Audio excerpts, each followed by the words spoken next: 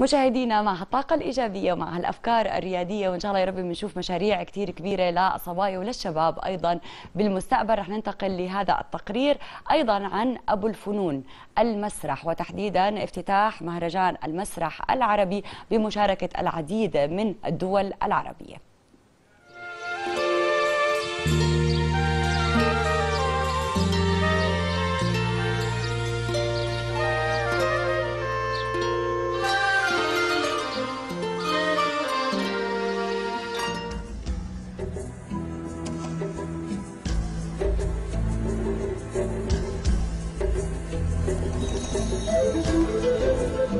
أهلا بكم في عمان وجبالها السبعة. أهلا وسهلا بكم في الأردن. نقابة الفنانين الأردنيين هي التي آه، ساهمت في تأسيس الهيئة العربية للمسرح. شاركت عبر زملائنا وزميلاتنا الفنانين منذ عام 2008 تقريبا. هذا المهرجان استطاعت نقابة الفنانين أن آه، توفر يعني المناخ الملائم من حيث البنية التحتية وبالتعاون مع وزارة الثقافة وكافة المؤسسات الرسمية لكي يتم عرض المسرحيات العربية والأردنية المشاركة على خشبات المسرح. نحن عندنا مسرحية اسمها كيمياء إعداد وإخراج الدكتور عجاج سليم. شاركنا فيها بمهرجان قرطاج. وهلأ حاليا إحنا بمهرجان العربي.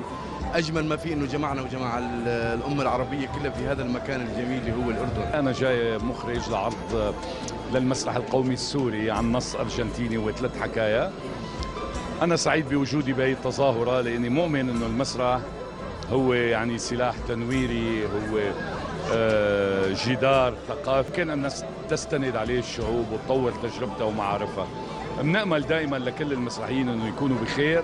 بنأمل المسرح العربي كمان إنه يصحوا شوي من كبوته ويقدر يواكب آه، متغيرات العصر احتياجاتها المسرح هو نطفة التكوين الأولى للعمل الفني. وبحمد الله عمان أصبحت تستقطب آه، جميع التجارب المسرحية وجميع التنظيمات على أعلى مستويات. واليوم بالفعل هو آه، عرس مسرحي فني خاص تحتضنه عمان. يعني برغم آه، انخفاض درجات الحرارة لكن إحنا تدفينا على أنفاس وقلوب أحبائنا وزملائنا حضور المهرجان.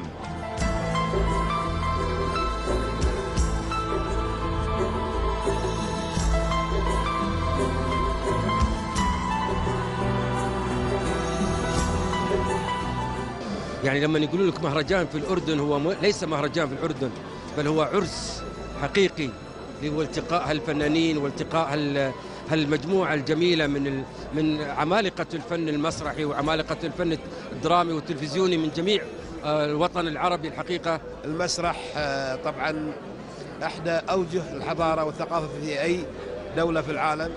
والحمد لله الأردن يعني ما شاء الله تقريبا بحدود 120 ممثل بارك الله فيهم متطوعين لخدمة هذا المهرجان ولخدمة الضيوف. هذا طبعا ان دل فانما يدل على طيبة وثقافة الشعب الأردني. كيمياء كيمياء قصة حب هي بالأساس. آه، بظرف غير طبيعي شخصين بيجتمعوا وبينجذبوا لبعض لدرجة أنه بيدخلوا بظاهرة فيزيائية أنه غير طبيعية ما بيقدروا يبتعدوا عن بعض أكثر مثل التمتار آه، يعني مجموعة حوادث بتمر لكن نحن بالأخير بدنا نقول وبزمن الحرب رغم الحرب أنه الحب هو أنجع وسيلة لنقدر نمسح كل كل السواد اللي موجود بحياتنا.